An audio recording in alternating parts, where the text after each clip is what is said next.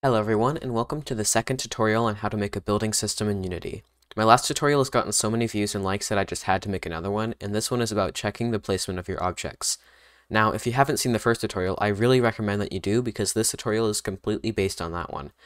Now, without further ado, let's get started. So the first thing you're going to want to do is make a new script. So to say create C sharp script and call it something like check placement. Doesn't have to be that, but it's a simple name for it.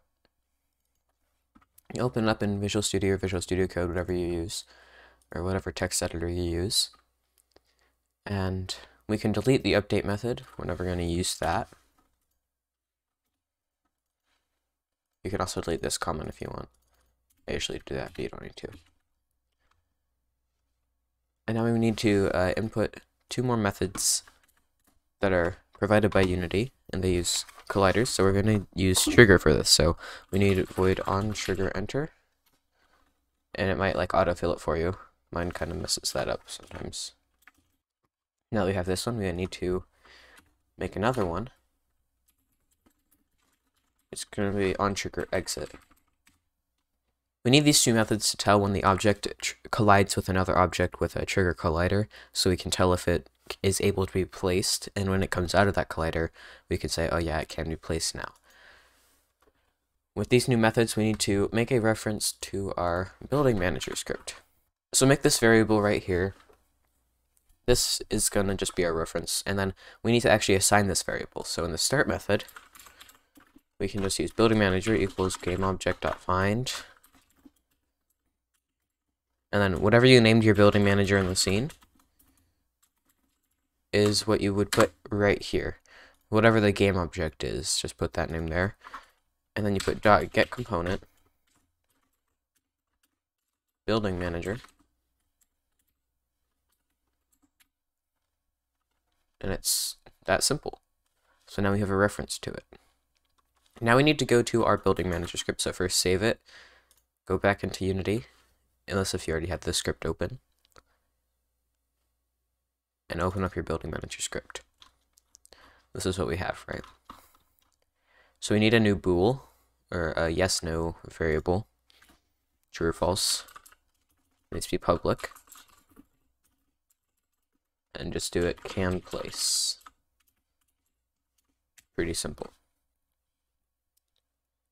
Now in the if statement, where we have uh, our placement thing, so right here, where we uh, are getting the input for our left mouse button, we need to add in the and, and uh, ampersand symbol twice, which basically means it's going to check for both of these things, and we just put in can place. So if you can place the object, when you click, it will place it. If you can't, it won't do that. It needs both of these statements to be true. Now that we're back in our check placement script, we can use this reference to set the variable to true in both these methods. So we did an if statement, just to check the tag. Compare tag, sorry about that. A little more performant. If other.gameObject.compare tag, you can use any tag you want. I'm just going to use object. You can use something like uh, blocks placement or obstacle or something because any object with this tag will allow you to not be able to place on that object. So just like environment things, anything with this tag you cannot build on and then building manager that can place equals false. Pretty simple right there. And then we need to do basically the same thing in the onTrigger e exit method. So you can just copy and paste it, except set this to be true.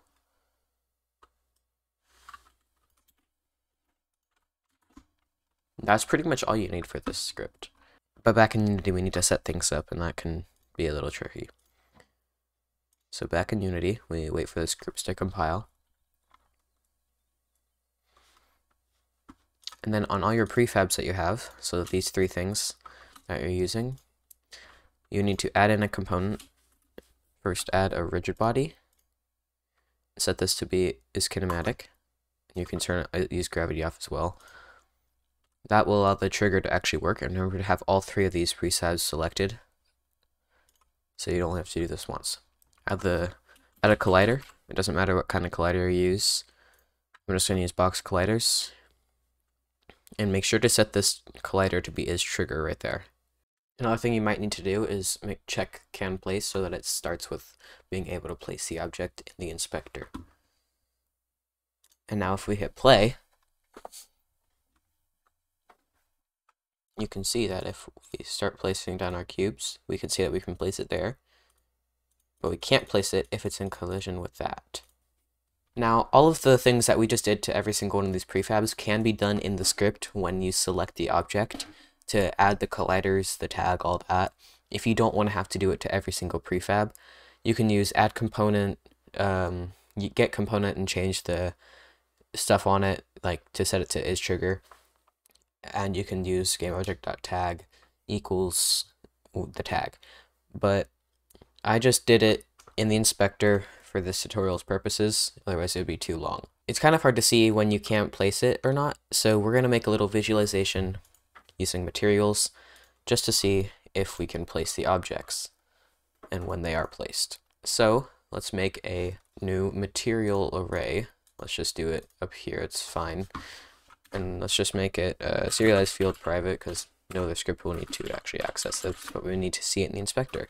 So just do material, a little array symbol, the two braces, I think there's no, the two brackets, and just call it materials, or whatever you want to call it.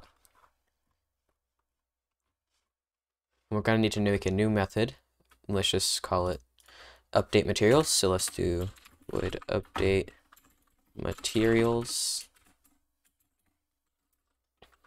And we're just going to use the variable, the can place variable to tell what we can, what material the game object should be. So we need to get the component of the pending object, the mesh renderer,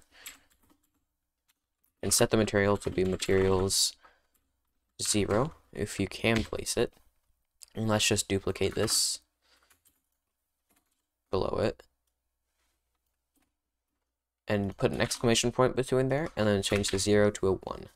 It's as easy as that. And then also in the place object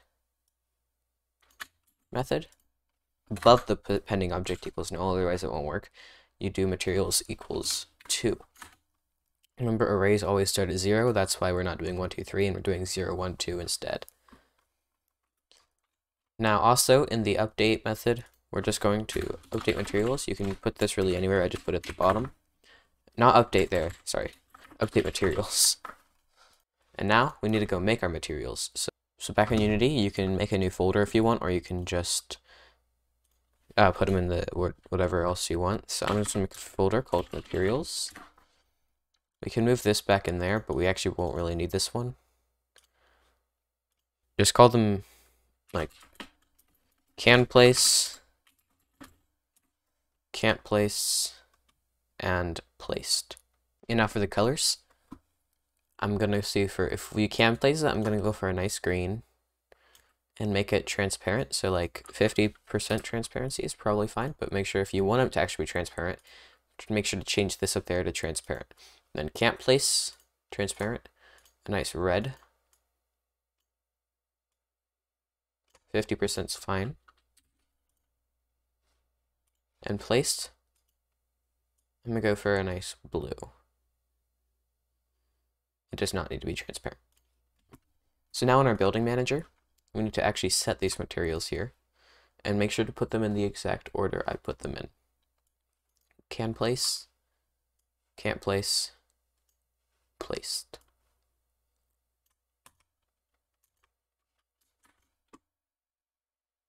So now if we go into our game, we can now see that if we place our, our, our, if we have our objects out here, we can see that they're green, and when we press it, it's blue. Then up here, we can see that it, we can't place it when it's red. And now we can place it and it's blue. Now, you can use the final material to be whatever you want here. It does not have to be like a blue. It can be your master material for all your things if you're using vertex coloring like that. Um, but for this tutorial, I just use these three colors. Thank you for watching this video, and if you want a third tutorial, please leave a like and comment what you want it to be about. I hope to see you in the next video. Bye!